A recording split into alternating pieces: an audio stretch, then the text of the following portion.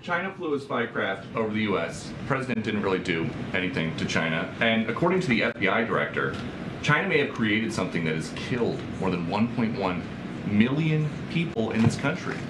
And President Biden is not punishing them. So you're you're giving me two two things here. So let's take them in parts. Um, as we talk about the Chinese surveillance, the China surveillance balloon, the president did take that down, and he did it uh, in a way that, as it was on its path, we collected information from it, we protected our national security uh, information on the ground, and we did it in a way that was smart, effective, uh, and also protected the American people that's what the president's always going to put forth is the is the safety of the American people. So that's what the president did with that particular uh, issue. Look, as it relates to uh, you're talking about the COVID origins, uh, we've been very clear.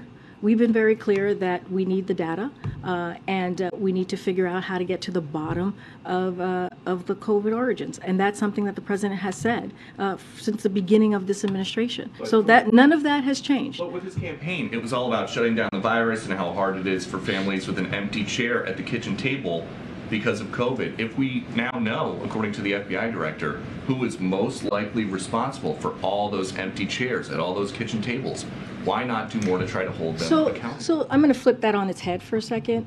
It was because of this president that took action. By the way, the last administration did not. They did not have a comprehensive plan to actually. No, no, no, no, no, no. responding to COVID, no, but where did no, COVID come from? If we know Peter, you can't tell. First of all, you can't tell me how to answer the question. I'm going to answer it for you, right? So just give me a second. So because he took those actions, he actually helped to save lives because he he took action to make sure that people got shots in arms and put a comprehensive plan in front of the American people and put in the work. Uh, we actually were able to get to a place where COVID is not gone, but we now are in a place where we're in a different place in the pandemic, and that's because of the president and that's because of his leadership. So let's not let's like be very real about the, what the president has done over the last two years to take on covid to make sure that the economy is growing again uh, to make sure that we're really working for the american people. So that's number one. I want to be very very clear on that.